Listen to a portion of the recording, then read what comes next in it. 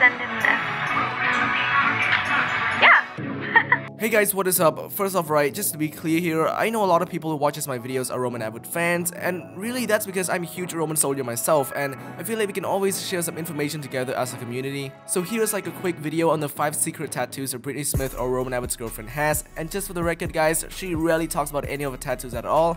So yeah, before we go any further, it would be crazy if you can just smash the like button below the video, and click the red subscribe one also if you haven't yet. So here we go guys, starting off with the first one, this is going to be Brittney's biggest tattoo, and this one is located behind her neck. So I've spotted this tattoo quite a few times now. And to me, it looks like a letter in Chinese. But really guys, to be honest with you, like I don't know where it's from. I don't know if it's in the Korean alphabet, Japanese, or Chinese. But you know, still just things in that nature. I also got no clue to the meaning behind her tattoo. Cause right, I don't know a lick of Chinese. But anyway, for the next two I found here, to be honest with you, I actually just saw this like about a week ago. I'm not sure if you can see it in any other vlogs. But I found the tattoos on one of the vlogs called Taking a YouTube Break. The vlog was on April 10 this year. Basically, they were shopping trying to find some propane for their flamethrower, I think. And when they got back home at around 8 minutes 46 seconds into the video, you can definitely see that there are two tattoos of Brittney Lower's leg while she was walking up the stairs. Now this is kind of like a tattoo of a bow, basically it's the two matching tattoos at the same place on both of her legs. And I don't really know if the tattoos mean anything, but they obviously look super cute on her. So yeah guys, for the last two tattoos here on the list, for this two, I'm pretty sure a lot of you already know about this, because Brittney did talk about it in one of the vlogs. She said she wanted the tattoo for over 3 years. So at the time, Roman was on a tour with his YouTube friend FouseyTube, and at the last day of his tour, when he was about to come home,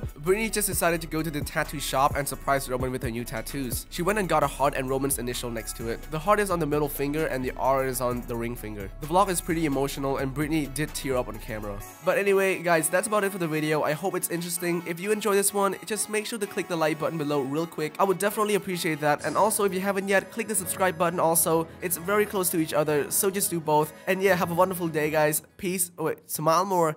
Peace, and I'll catch you later.